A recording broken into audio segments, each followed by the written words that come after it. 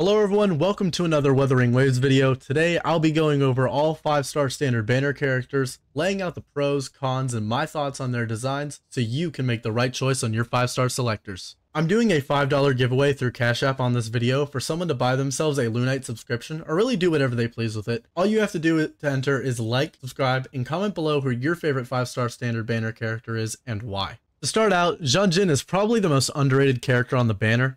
She is a very jack of all trades, master of none playstyle with solid DPS, some heals, and some shields. She can group enemies up and set up ally combos. If you're using Jianxin in her best situations with solid game understanding, her DPS can rival that of the higher tier characters of the game. Overall, I personally see Jianxin as the unit you're most likely to choose off the basis of just enjoying her visual design. She is a very very beautiful character and her animations are stunning. Calcharo is the best damage dealer on the banner. But to maximize his DPS, he can also be the most mechanically intensive. Comparatively, Jiyan, the current premium banner character, is a character where maximizing your DPS is basically using your ultimate and just spam clicking. Calcharo benefits far more from actually hitting his combos, which can definitely be considered an upside or a downside depending on how casual and relaxed you want to take the game from a combat standpoint. Calcharo's value will also be heavily increased upon release of Lightning Mommy Yinlin due to her Electro buffing sub DPS playstyle. So if you plan on pulling Yinlin, grabbing a Calcharo should be your number one choice for the selector. He, in my opinion, has the most badass design of any character in the game.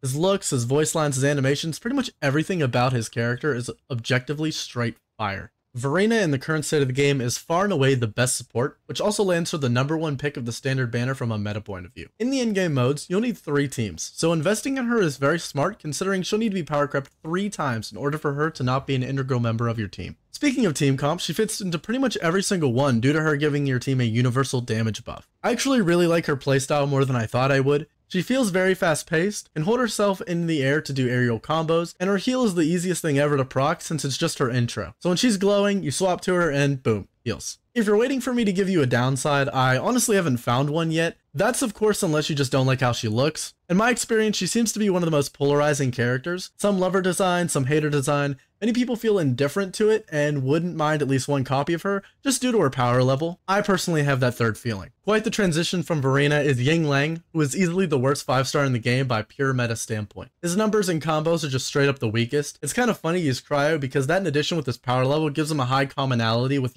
From Honkai Star Rail. In my opinion, his design is also the weakest. I'm just not a fan of the little furry boy. As for his playstyle, it's actually very unique. He jumps around a lot and focuses on aerial attacks, this kind of playstyle can be very fun and is the main reason you would probably be choosing this character. Last, but definitely not least, is Encore. Encore's downside is that she needs a lot of time compared to other characters to use her charged attack, but if you're a good mechanical player who can perform swap canceling, you can avoid that weakness. Swap canceling is basically when you swap to another character after queuing an ability to prevent getting locked into completing an animation that charging would leave you vulnerable to attack. Similar to orb walking in League of Legends if you're familiar with that game and mechanic. Otherwise, she deals a lot of damage and on Prydwen's tier list, very close to, if not on the same level as Calcharo. This will however change with Yinlin's release as Calcharo will have an insane buffer to pair with him. Personally, Encore is my second favorite design on the standard banner. The ultimate is so cute. Thank you everyone for watching. If you enjoyed the video, remember to like, subscribe, and share what Standard Banner 5-star character you will be picking and why in the comment section below to be entered into a giveaway.